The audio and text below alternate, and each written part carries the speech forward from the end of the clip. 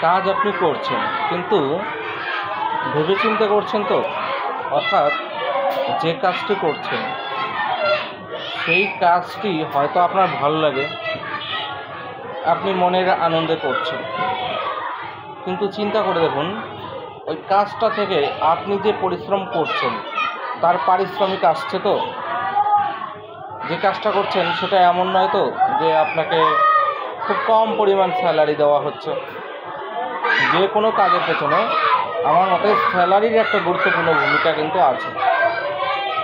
Minimum যদি দশ হাজার টাকা স্যালারি না হয়, সেই কাজটা করা উচিত নয় আমার মতো। আপনি পরিশ্রম করবেন, পয়সা নেবেন না, এটা হয় না। পয়সাটা গুরুত্বপূর্ণ।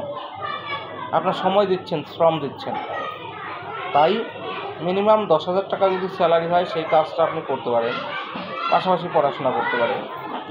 আর তার কম হলে আমি বলব যদি দু তিন হাজার টাকা হয় বা এক হাজার টাকা হয়, আমি বলব আপনি এটা ছেড়ে দিন। অন্য তার পেছনে, পড়াশোনার পেছনে সময় দিন, কাজে লাগবে।